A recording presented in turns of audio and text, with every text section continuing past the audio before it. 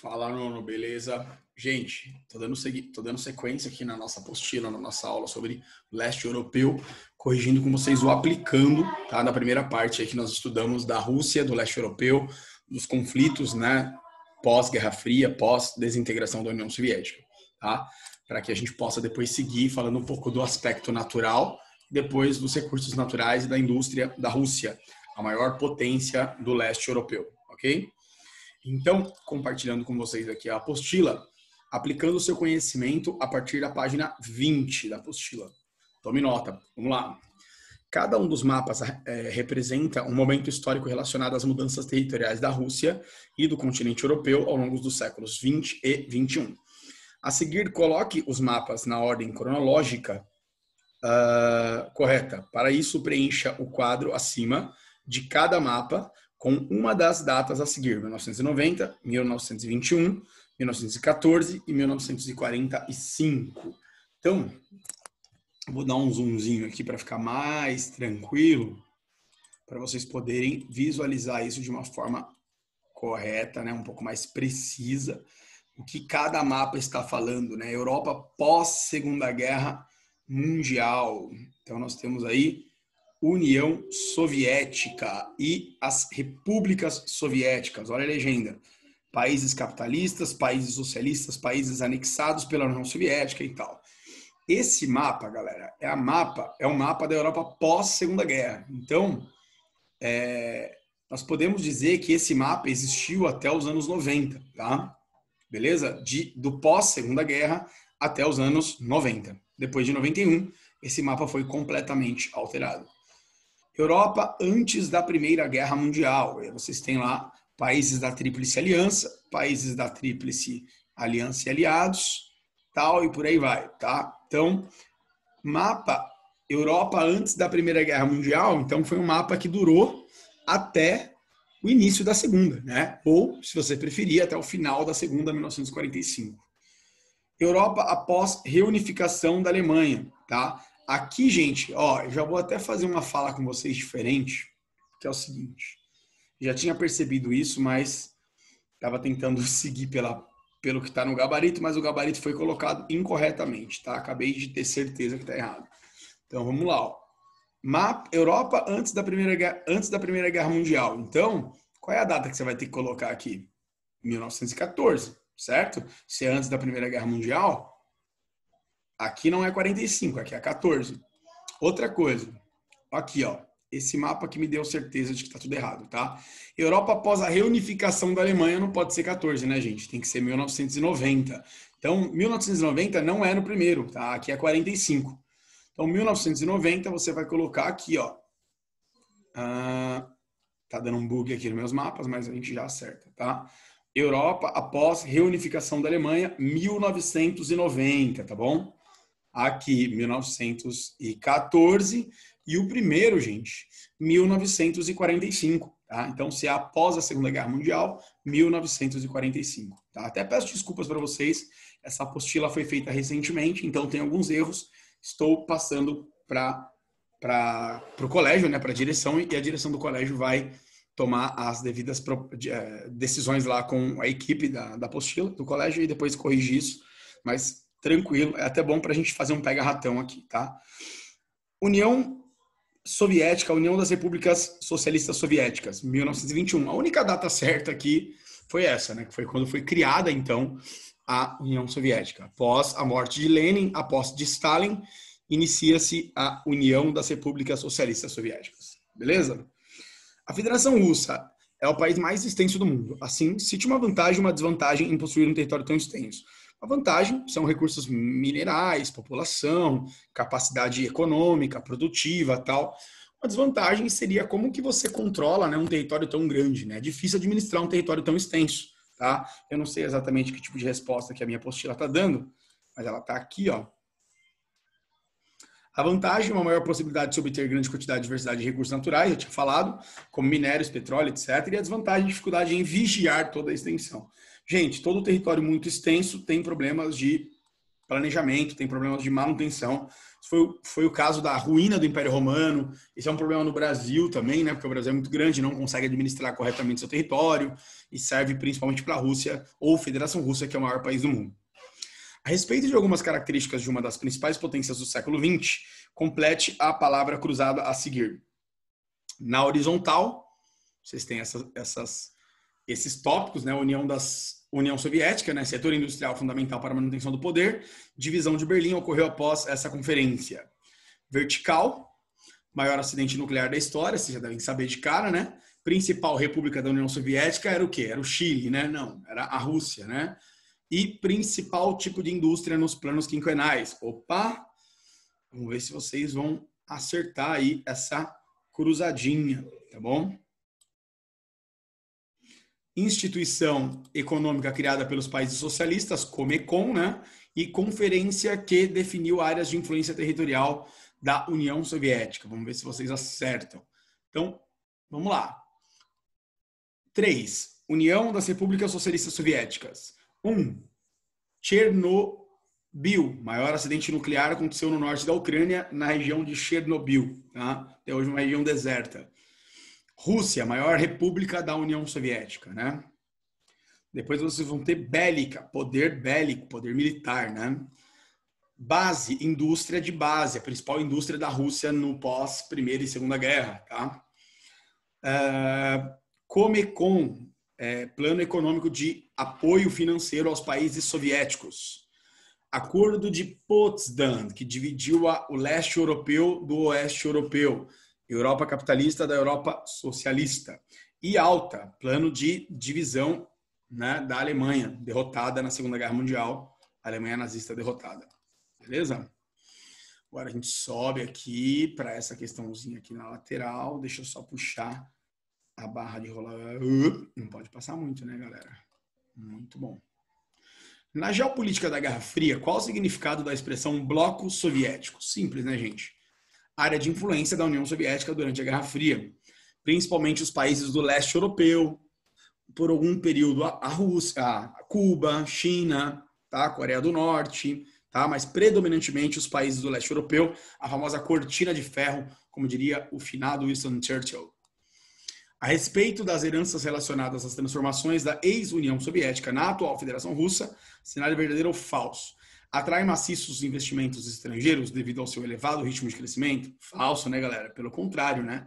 Tem grandes problemas econômicos, infraestrutura atrasada, é, redução da população e assim por diante. Tem dificuldade em transferir a tecnologia desenvolvida no setor militar para a produção industrial do setor civil da economia? verdadeiro, né? Tem dificuldade, tá?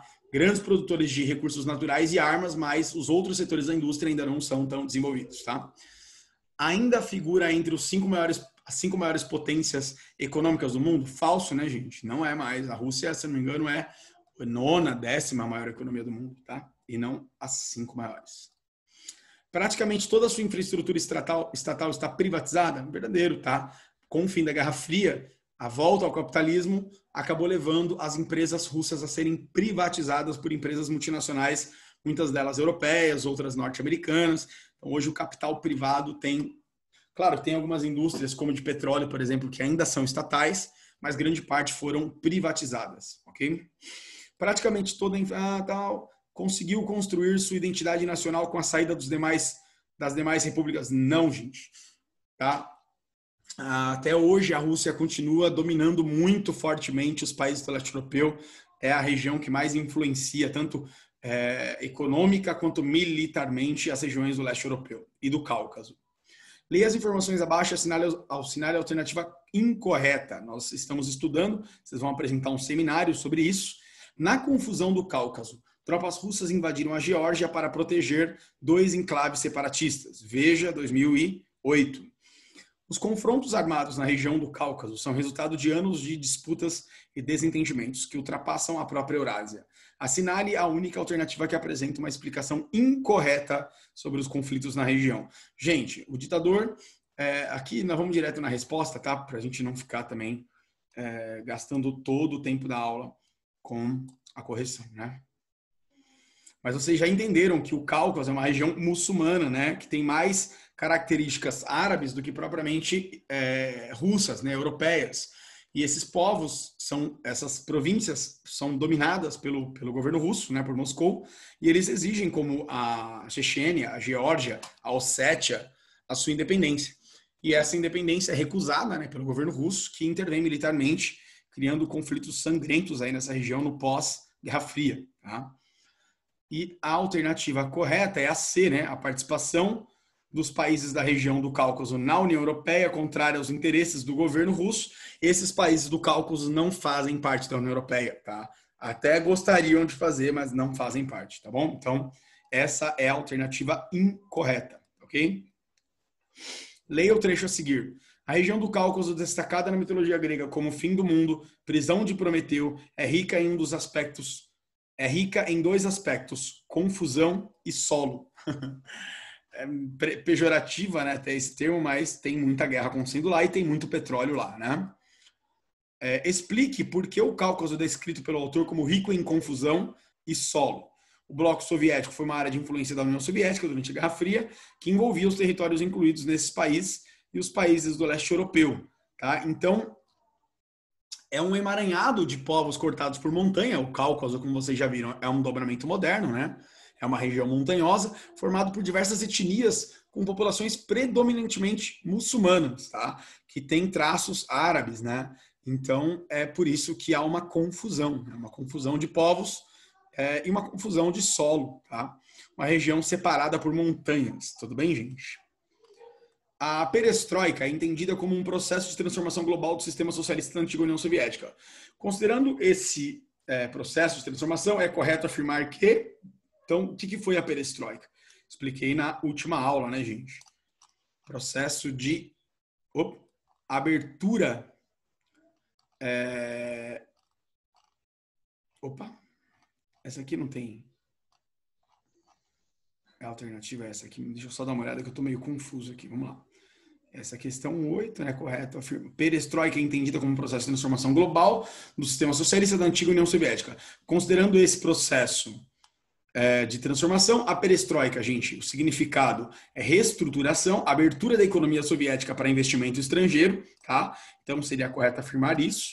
Vamos ver o que, que as alternativas estão falando aqui em cima, né? Então, a partir da A, opção pela interdependência entre o aparelho de Estado e o aparelho partidário, tal, incremento da indústria de armamentos, menos, a Glasnost como abertura democrática abriu caminho para a reforma do Estado e para as discussões ideológicas e assegurou as transformações básicas na economia soviética. Crescimento da economia soviética nos anos 80. Então, a única verdadeira aqui, que ainda está um pouco confusa, na minha opinião, é a C, tá? A Glasnost é uma abertura política, ou seja, novos partidos e a população passa a poder votar, o que não, não existia na União Soviética. A reforma do Estado e para as discussões ideológicas que assegurou transformações básicas na economia soviética. Essas transformações básicas, né, não ficou muito claro aqui, é a abertura, né, como a União Soviética estava em crise econômica, é, o governo russo começou a conceder algumas áreas para investimento privado, ou seja, a Rússia começa a deixar de ser tão socialista e passa a ser um país capitalista, tá? É uma abertura econômica, assim como a China fez nos anos 80, para tentar salvar a economia. Em dupla, a partir do que foi estudado sobre a Federação da Rússia e a Comunidade dos Estados Independentes, que é o bloco econômico formado pelas ex-repúblicas soviéticas, exceto alguns que não entraram, acesse o QR Code e responda ao quiz. Será que você sabe tudo sobre a SEI? Nas linhas a seguir, crie mais três perguntas para que outra dupla da sala responda. Gente, valendo nota, vocês vão fazer, não, não no momento agora próximo, tá? É, a gente marca o dia certinho, até porque você já tem um seminário sobre o Cáucaso, né? Então, fiquem calmos, a gente deixa para fazer isso num outro momento. Ou até a gente pode fazer o seguinte: a gente pode fazer isso essa semana e deixar o seminário do Cáucaso para uma próxima semana, tá? Então a gente adia uma semana o seminário e vocês começam com essa atividade, até porque a gente vai embora, né? Já está terminando de corrigir isso aqui. Acho que é legal já fazer isso logo para a gente não perder tempo. Acessem o QR Code, montem duplas e vocês vão elaborar três perguntas para outra, outras duplas responderem, beleza? Combinado? Eu aviso para vocês no WhatsApp, questão 9 da página, que eu não sei qual que é agora, depois eu vejo, tá? 10. Com base no conteúdo estudado sobre a comunidade dos Estados Independentes, em sua opinião, o bloco tende a se fortalecer ou não?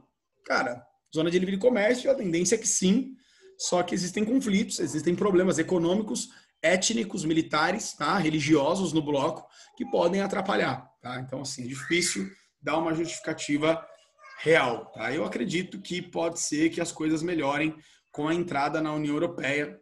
Talvez sim, talvez não, não temos certeza, tá? Não dá para ter certeza disso.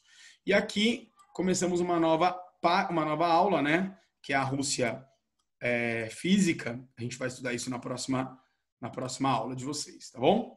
Terminamos aplicando, espero que vocês tenham entendido, tá? E qualquer dúvida vocês me falem na sala de aula. Um forte abraço, valeu!